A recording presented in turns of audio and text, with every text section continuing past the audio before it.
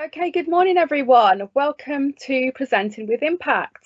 Um, I'm really excited to be presenting to you this morning and welcome to our first webinar for um, pre-16s for years um, 10 and 11 today. So my name's Sophia. You can see me up on the screen there. I'm the Partnership Manager for the Outreach and Access team here at the University of East London. And I have two of my colleagues with me who I'm going to get to introduce and they are helping with today. Hi everyone, my name is Tamina and I'm a project coordinator for the secondary events team. Hi, I'm Sean and I'm the ambassador coordinator in the outreach and access team. Okay, wonderful. Thank you to Tamina and Sean uh, for helping me out today and co-presenting. Um, so we'll just carry on with the presentation. So a little bit about the University of East London, first of all. It was established in 1898 um, it's a three campus university. So basically it's just got three sites there. So we've got um, our main Docklands campus, we can, you can see in the top right hand corner, the white building.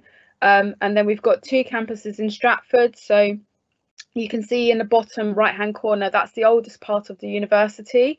Um, and we're about, those two campuses are uh, about 10 minute walk from Westfield in East London. So we're quite central.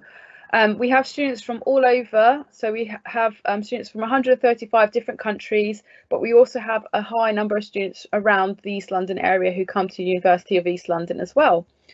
So what we do, uh, we work in outreach and access. Um, so we basically support years um, 6 to 12, even year 13s, to help make informed deci decisions about your future and to support your learning, um, which is partly why we've launched this a series of webinars. So obviously presenting is a really key skill. It's something that you need to use um, not only at school but in a multitude of different jobs.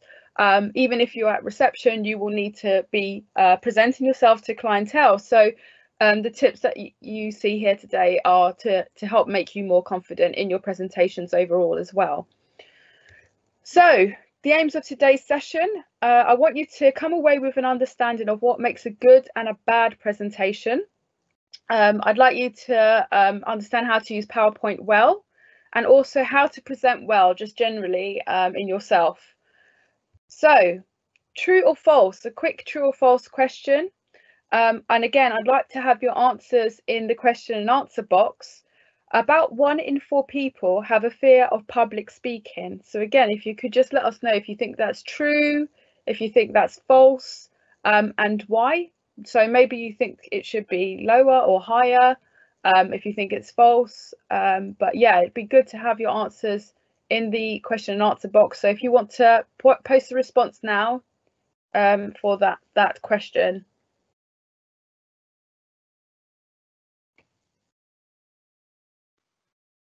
Okay, so we'll just wait for the answers to come through, Sophia. Okay, we'll hold fire for you. Okay, so we've got someone who said it's true. It's true, okay. Uh, another person thinks it's false. Okay, it'd be interesting to know why you think it's false.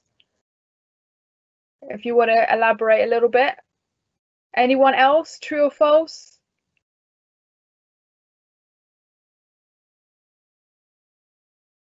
We've got someone who said, depends, not all people are shy. Yeah, okay. So not all people are shy. That's a very good point.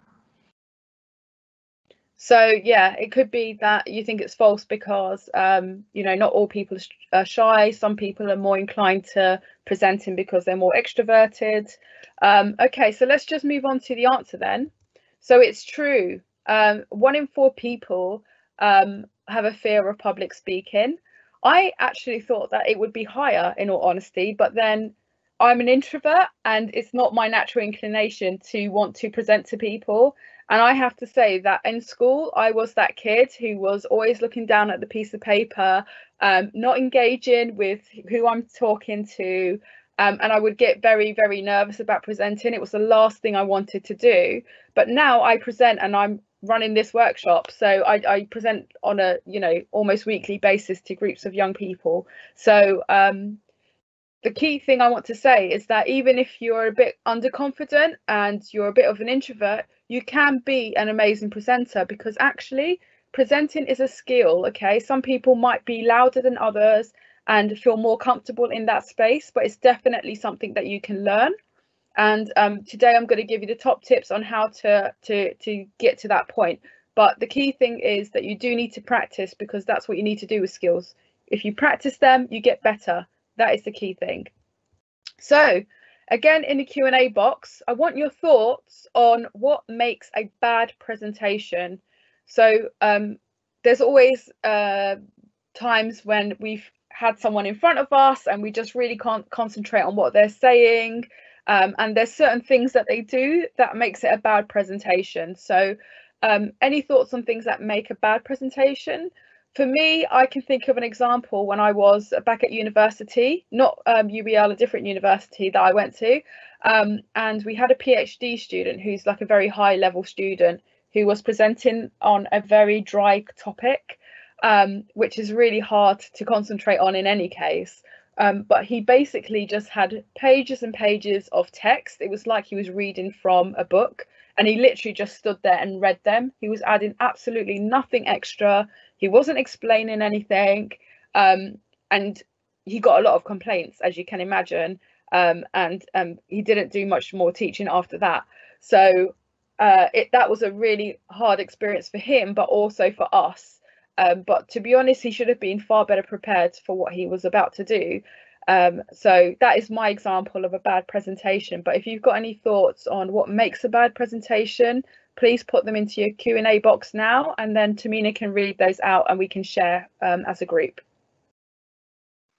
Thank you, Sophia. So yeah, um, from turn-offs for me would be if someone's talking to me for a very long time. Um, also the use of no images or videos that can get really boring. And also another thing is if they're not engaging with the audience as well, we can easily lose interest.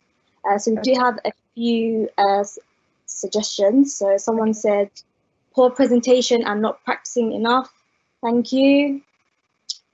Uh, another person has said not being clear when they are speaking and poor grammar in the presentation, which is exactly true. Thank you for that. And then someone else has said when almost everything in your presentation is scripted and doesn't have any improvisation. Yeah, thank you, Sophia. Oh, wonderful. Okay, those are really, really good points. And you've definitely all hit, the nail on the head. And I'm going to be covering a, a lot of that today. Um, so you should have a very good idea of what makes a good presentation. You, and you all do have a good idea because you've sat through presentations, but um, I'm going to give you like the standards basically that you should be aiming for with your presentations. So some of the things you mentioned, um, eye contact. So thank you for whoever who said, you know, not making a connection with your audience. Eye contact is so important. If you're looking down at, at a piece of paper, like I used to do when I was a student, um, and not engaging, they're not going to listen to you. Fidgeting. Some people get extremely nervous when they present. Um, and, you know, I, I think a bit of nerves is good, but actually, if you are prone to fidgeting, make sure you're doing something with your hands. Use your space like um, you know use your arms to like explain what you're talking about rather than just fidget okay? A lack of enthusiasm. So if i was to start speaking like this in a really monotone and disinterested way i'm sure i'll probably send you all to sleep. So please speak with enthusiasm even if it's something that you're not particularly enthusiastic about, you need to find that enthusiasm because it keeps your audience engaged. Rambling. I am one for rambling, I have to say. It's part of my personality and it's part of the way that I speak, but I try to keep that under control. Um, reading from notes, please don't do it. If you have practiced, you will be able to not read from your notes because you'll know your content and it will help you control the rambling as well no flow. Again, if you have practice with every practice, and you should ideally do it with some sort of audience when you practice, they can give you feedback and you can make your presentation flow in a much better way. And a weak voice, this is going back to a lack of confidence or um, not understanding how loud you should speak when you're uh, addressing an audience. But um, again, with practice, you can get that feedback from other people, ideally, um, and and then you can improve on those aspects. So it all comes down to practice um, in in in essence. So how to present well we'll move on.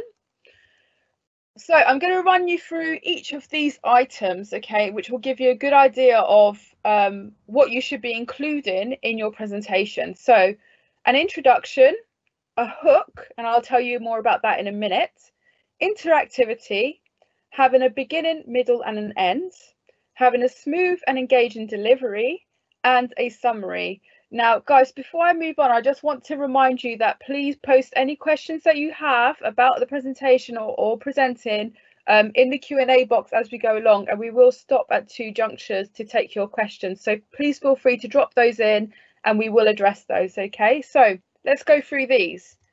An introduction, you always need to introduce your topic, okay?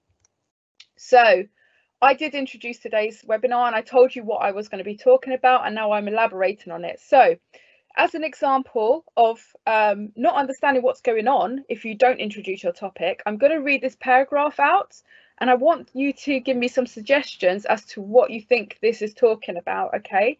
So in the Q&A box again, if you want to read it yourselves, fine, I will read it out, but let me know what you think this paragraph is talking about. So one of the the profound effects, uh, profound economic implications is that it liberates the user from oil consumption, Valentine 1972. It is an inexpensive, fast, healthy and environmentally friendly mode of transport. Okay, so Tamina, I will hand over to you. Are there any suggestions as to what this paragraph is talking about? Thanks, Sophia. So we don't have any suggestions at the moment, but I think it's talking about some mode of transport. Okay, guys, take a guess. Please feel free. That's the point. The point is, is that it's a bit confusing um, what it's talking about. So if you've got any suggestions, please post them in the Q&A box. Anyone want to be brave and post something? We'll give you a couple more seconds.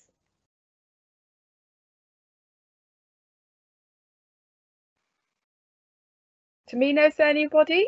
Nope, we don't have any suggestions at this point. Okay. Okay, that's fine. So we'll move on. So the answer is the environmental um, environmental impact of bicycle use. So you would have never have got that if um, I hadn't had had introduced that as the title and what I'm going to talk about. So this is why it's really important, even if you're doing a five minute presentation, to say what you're talking about and and the elements of what you're talking about okay? So moving on the hook. So what do i mean by the hook? Um, this is something that you should put quite early on in your presentation and it has to be relevant to what you're talking about. So it could be a quote it could be a statement it could be a statistic it could even be a joke okay? It could or, or a story something that's going to pique people's interest and keep them engaged in your presentation. So as an example, at the start of this presentation, I gave you the statistic of one in four people are nervous about public speaking. So that's something to get you engaged. And I, I decided not to just give you that statistic, but I opened it up and I wanted to see what your thoughts were, if you thought it was true or false. So that's adding an element of interactivity as well and keeping you engaged. So think about including a hook in your presentations. Interactivity. So um, there's a number of ways you can make things interactive. You can pose a question, as I've done um, in, in this presentation earlier on. You can take a poll. Um, if you are presenting to a class or to an assembly, again, you could hand, have hands up. So if I was presenting this in an assembly, I would probably say, okay, hands up, who's nervous about public speaking? And then I could introduce that statistic, for example.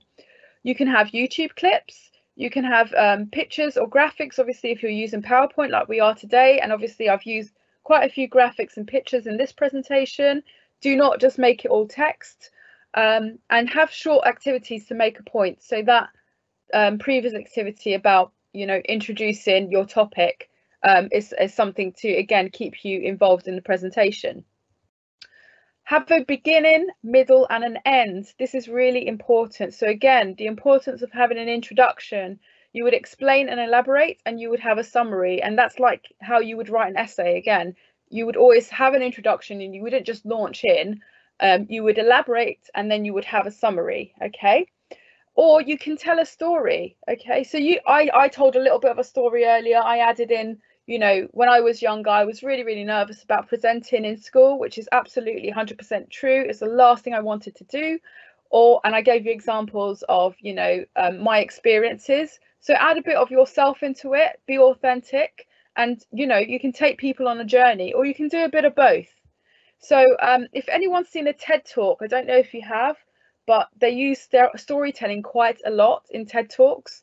If you haven't um, seen a TED talk, I would strongly recommend it because they are very good examples of how to present and you can get some good tips from um, watching presenters and seeing how they use their body language and their arms and how what the narrative is when they present. Um, so TED Talks, they, they are on a variety of different subjects. So anything from nutrition to how to present to body language, psychology, criminology, loads and loads of different things. Um, so it's definitely worth checking out. And we do have an example of a TED Talk in the next slide. So I'll move on to that. So a smooth and engaging delivery, practice, practice, practice, practice. And you guys said it at the start, a couple of you mentioned practice. So yes, it's so important uh, and this is the the real key to giving a good presentation do not underestimate the value of practice even if you don't have anyone to present to present in the mirror that's fine. Present to the wall but present okay? Um, introduce yourself. Always introduce yourself. It makes a connection with your audience. Make eye contact. So obviously this is not the forum for eye contact but if you were presented to your class for example um, you can use this little trick, which is what I use, is uh, to make a W in the crowd with your eyes. And that means you're not focusing on one group of individuals, you're not looking down, and you're connecting with the whole room. Okay, so that's a little tip for you. Next tip, smile. Okay, actually, if you're smiling, you sound a lot better. So, and it's encouraging to your audience that you're feeling confident and you're feeling um, good about being there. So, smile. I am actually smiling now whilst I present because actually, as I say, you sound better. And if you're ever on the phone to somebody important, smile because it makes a difference to your voice. Okay, top tip there. Be passionate, be passionate about what you're talking about. Now, I'm not going to underestimate that sometimes it's hard to be passionate about things um, when it's something that you may not be interested in particularly, but you have to present on it. So say if you were given a presentation in school about covalent bonds in a science class, you may not be particularly passionate about covalent bonds. However, what you do need to do is find your passion. So you know that your science grade may be reliant on this presentation and it's important for you to give a good presentation. So your motivation to be passionate should come from there, okay? And if you are feeling underconfident, remember that the more practice you give, the better and sometimes those gremlins you know they do sneak in and you kind of start thinking oh my god i'm not doing a good job of this presentation if that happens during a presentation go back to the content. Go back to what you're supposed to be doing. Focus on your content and focus on giving the best delivery that you can okay? Stick to time. Sticking to time is really important. Um, and you know if you're ever giving a presentation say in an interview you might be given a five minute slot and the interviewer will cut you off if you go over five minutes. So getting into the practice of sticking to time is really, really important. And again, if you practice, you know that your content is either too long or too short and you can adjust it. Do not leave it to the last minute. If you are presenting in a group, everybody should talk, okay? And I'm sure you've heard from your teachers at, at some occasion that everybody in the group needs to talk otherwise you might be marked down so it is important even if you are very shy to practice you can get better you will get better but you need to practice body language.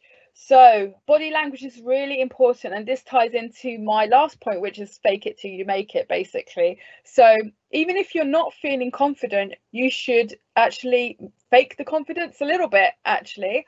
So one good way of doing that is standing really tall, uh, projecting your voice, using your space around you. Don't cower because what we tend to do when we're nervous is that we start folding our arms across our body. We end up getting bad posture. We don't want to look at people. We're trying to make ourselves as small as possible. Well, actually, you should be making yourself as big as possible. Okay. And that actually helps incite that confidence in you.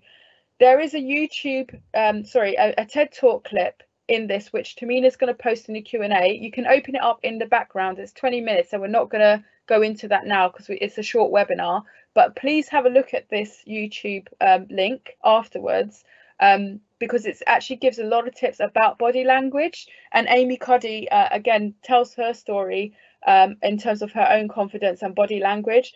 But in this um, talk, she does talk about actually if you're feeling nervous and anxious, stand like Superman, basically. So kind of arms in your hips, really good posture, and breathe deeply. So if anyone has ever suffered with anxiety, the first thing I'll say is start taking really deep breaths, okay? And that that stance and those taking the deep breaths makes your body calm down, okay? So if you're feeling nervous, do that. And even before a presentation, if you're prone to being nervous, what I recommend, go to a private space, even if it's a loose, stand there in a really good posture, arms on your hips, as I say, like Superman pose, and just breathe deeply for a minute, okay, just to get your nerves under control before you present. And it, it does have a reaction on your body, okay? So that's a top tip for confidence. Next slide. So, summary of your presentation essentially this these are the most important points that you want the audience to come away with it just needs to be two or three points bringing out what it is that you've tried to get across in this presentation. That's all that is okay? So we're going to go back to your questions in a moment but before we do i'm going to just talk through this slide briefly. So just a few extra top tips. So preparation planning and practice are key. They are as important as the actual presentation. If you don't do these, um, you're not going to present as well as you could. So please do that. Make sure that you engage your audience. So as I say, using those interactive elements. So whether it's a YouTube clip or good graphics or asking questions or having hands up, engage with your audience in that way, but also remember the eye contact. Remember to smile. KISS, keep it short and simple. That's what that acronym stands for. You may have heard of it in the past again, what you have in your slides doesn't need to be, um, you know, too much. Talk to your slides rather than talking through your slides, okay? Find your why. So this is back to, uh, back to being passionate and why is it important for you to present well? So for me, it's important to present well because I want to make sure that the information that you have today is right and it's and it's drummed into your heads um, so for me, it's important to present well and make sure I'm transferring that information to you. And that kind of lowers my anxiety levels when I present is that actually the important thing is not how what I'm how I look, it's actually the information that I'm transferring to you. Okay. And be you, be yourself. Okay. You may see an excellent presenter and think, wow, I'd like to be exactly like them. And where you can pick up some tips from other people, like body language, for example, or the way that they do things. You can only be yourself at the end of the day. So if you are humorous, use humor, be authentic, use humor in your presentations. If you are really empathetic, you can use that. So I'm quite an empathetic individual. Um, I understand that people do struggle with presentations because I've been there myself. Um, and I'm trying to give you the top tips on, on building your confidence. So I do really empathize with those of you who do get nervous on presentations, um, but it is something that you can get over with practice, okay?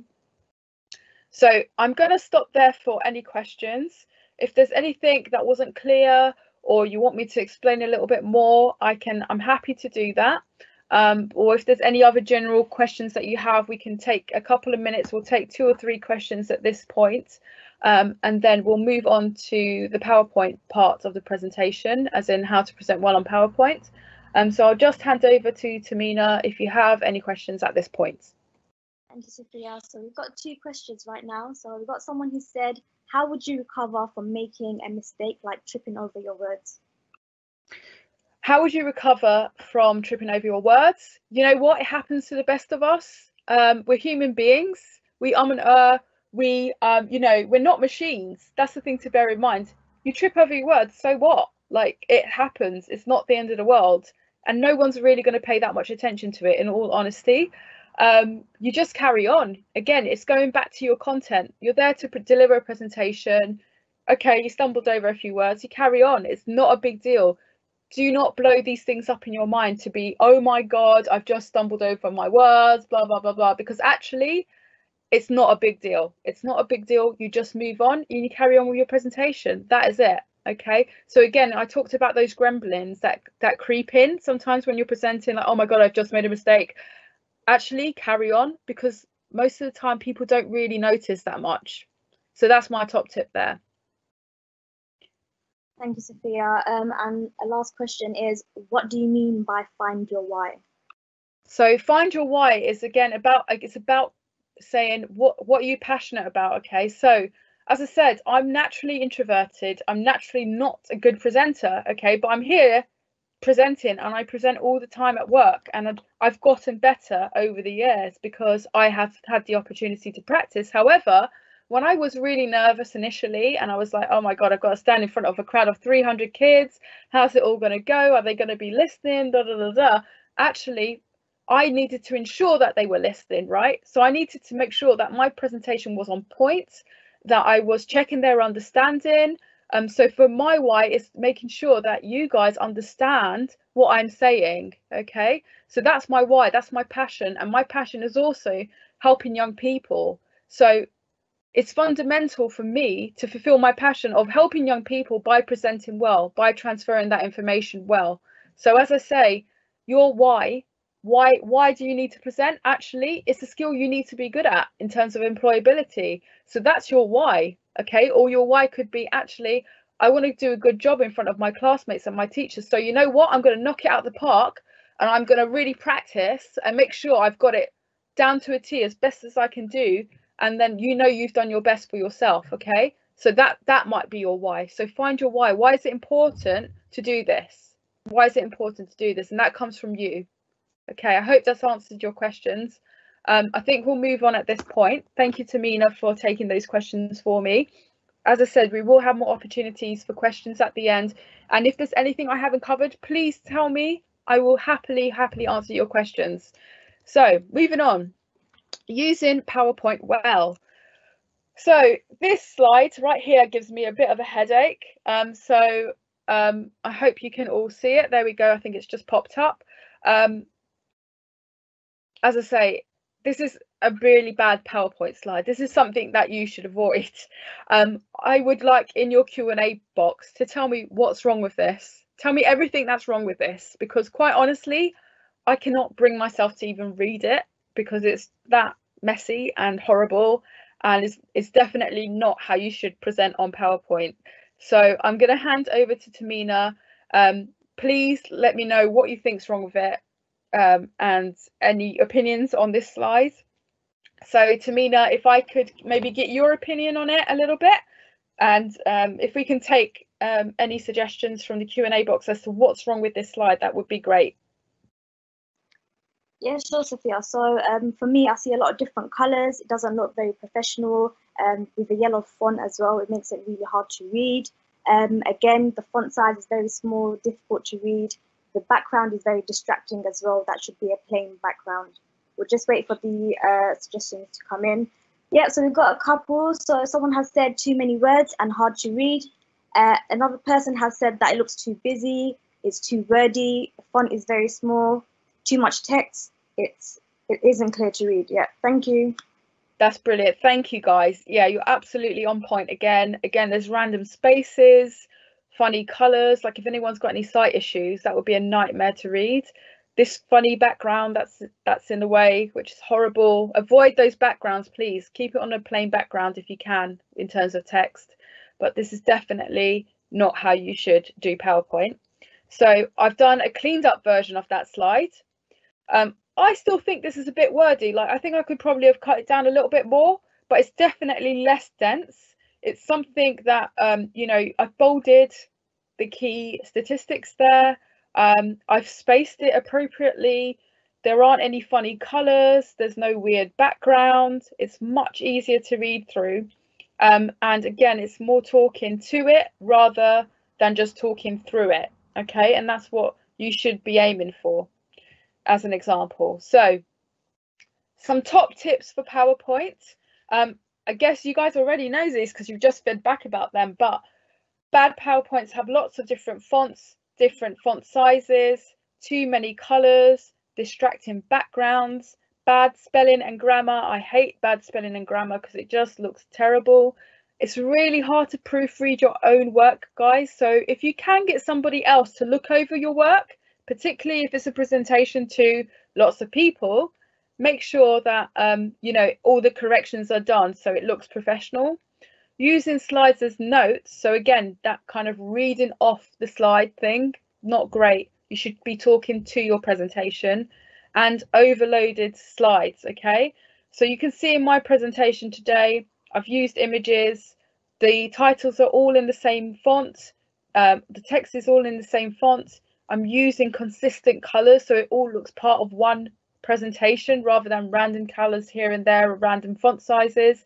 So there's a lot of consistency and it looks far more professional, okay? Pictures on PowerPoint. So too many words can be overwhelming, as we saw from that pre that slide on personal statements, the initial one. Um, you can use graphics, but make sure that um, they are relevant graphics and uh, make sure that you keep your audience engaged okay? And as you can see the pictures are aligned well in the presentation. They're not just randomly placed in top corners and that sort of thing. I've thought about the placement of the words and the images quite carefully. So some do's in terms of images. Make sure that um, you keep pictures simple. You don't want to overcrowd your page. Um, the text is more important than the imagery, I would say, and the message that you're trying to get across. So don't um, overcrowd your page with images. Choose complementary colors and be consistent if you can be. Use good quality images. So you can see here, these are both good quality images. They're not pixelated. So again, try to use images that are in the pixel range of um, a thousand or above because it will just look a lot better on the screen. So some don'ts. Um, you can see in the top right hand corner image of Imran Khan there, the lawyer. Um, I've compressed the um, image and it, it just looks tacky and unprofessional. Um, again, the image on the bottom left hand corner, the resolution is not high enough. It looks a bit pixelated. So again, avoid blurry, unclear images, avoid small images, avoid watermarked images. Um, the images that I've used today are either um, images that we own as UEL or they are from royalty free websites. Um, and I have actually give royalties. If you've noticed throughout, I've actually given the royalties anyway, just just like a. By the way, this was photographed by whoever, so you can do that as well in your presentations. So good PowerPoint presentations, as I say, a good use of bullet points. It should not be a list. It should just be something you refer to ideally. Nice clear fonts. Aim for symmetry throughout your presentation. So symmetry is beauty, as you can see, like the words are kind of symmetrical they're kind of midway in the in the page.